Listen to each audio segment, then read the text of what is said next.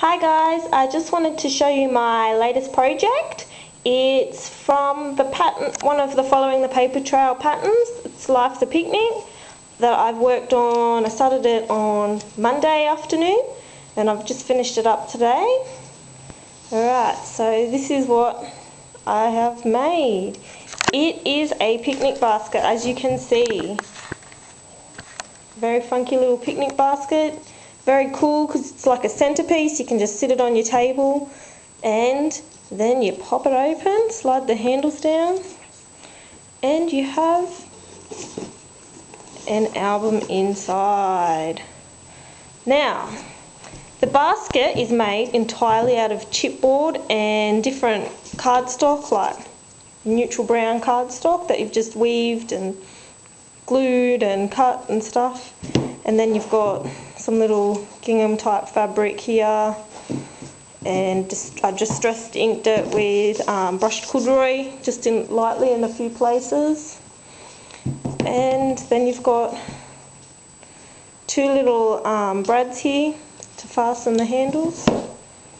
And that's the basket onto the album. We've got we've bound it using her method um, with earrings and just tied some little ribbon on there very picnicky style. Uh, got some sunflower and little daisy kind of flowers. Got some the first page you open it up and you've got some gingham type fabric wrapped around on the cover. Open it up to your first page and on your first page you have a barbecue little tag thing open it up inside. And got some little tags here sausages sitting on the grill that slide in and out. They both come out. Um, close that back up and you pop it in behind the grass. I love these little ants here. They are really cute. Just a nice touch to it. And down on the side here. On the side we've got a little photo mount tag thing that slips into the side of the page. Do whatever you want whether it's journaling put another photo there. In my case I always have room for photos in albums. I take far too many photos of my kids. The next page we have a little photo mount here that comes out and that slips behind a little journaling page there. I've got one of these on the back of every page and there's um, a photo mount in the side of each page and that alternates which side as you go through. Next page we have our pickle jar, journaling spot and then it opens up for photo mounts, the little mustard bottle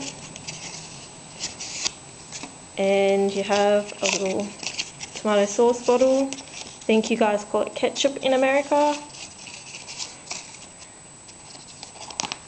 Again, another little photo mount, journaling spot.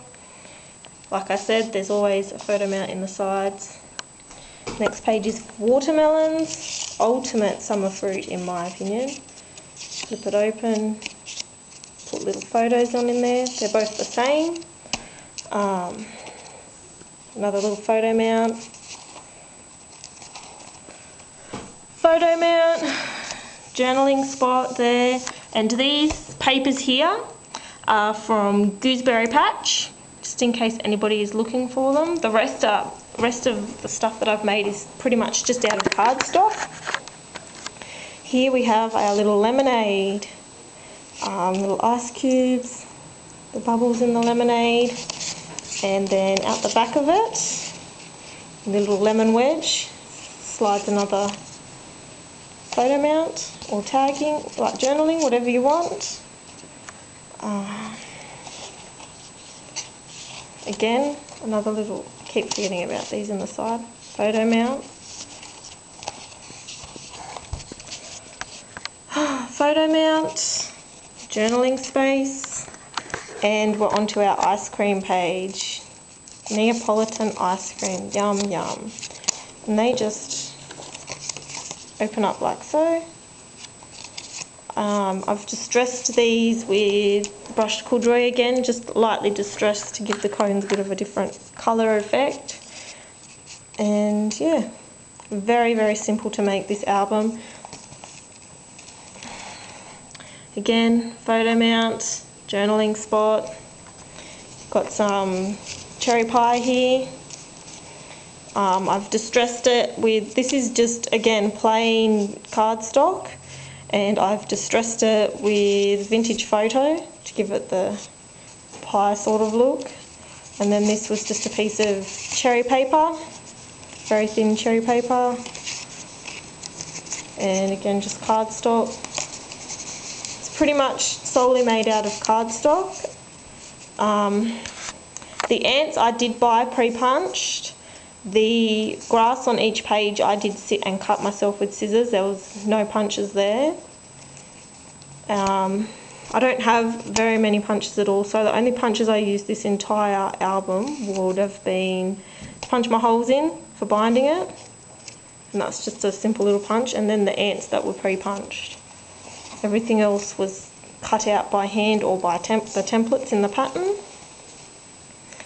Last page, photo mount, um, journaling spot, and again the last page, just like the first page. And that is it.